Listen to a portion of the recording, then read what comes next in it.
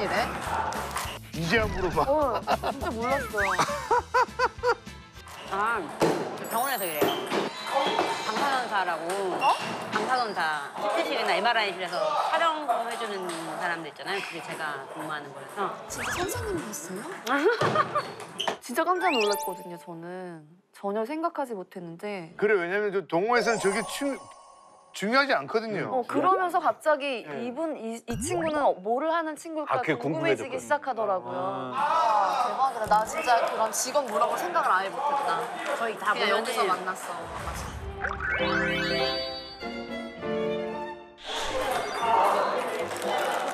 아니 근데 직업이 다 물어보는구나 이제 만나는 거. 아니 저는 대학회사 다녀요. 대박 여기는 다 진짜 엘리트만 다니는 거예요. 뭐, 어, 무슨 과에 있어요? 학술부라고 R&D 쪽에 학술부라고 R&D 쪽에 무슨 말인지 하나도 모르겠어. 아 근데 어, 직업이 뭐예요?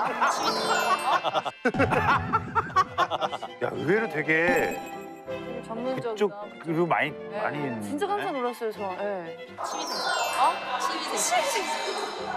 뭐야 여기 다 뭐 의사들이야? 왜다다 의학 관련된 사람들 모임이에요 여기? 우와 장난 아니다. 그럼 이빨은 진짜 좋으시겠다. 저 제가 대부분 민수 쌤. 민수 쌤. 쌤 직업이 뭐예요? 저요? 영어. 그래 한, 한번 궁금하면 다 궁금하지. 뭐가 아 다들 뭐 의사 막 다 이래가지고. 아 근데 저도 원래 물리치료사였어요.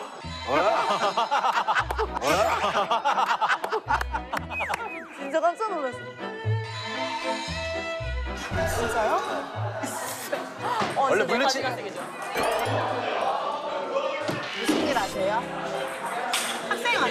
저요 저 인턴하고 인턴? 뭐? 아, 우리였어? 의사 인턴? 저는 그냥 이제 법 쪽에 있는 거 아니야? 데이터 법? 분석 쪽. 데이터 분석? 네, 아, 그런 거. 진짜 다 똑똑한 사람들이구나. 뭐, 뭐예요? 저 기자. 기자. 기자? 아 진짜 여기 가늠이 안 된다.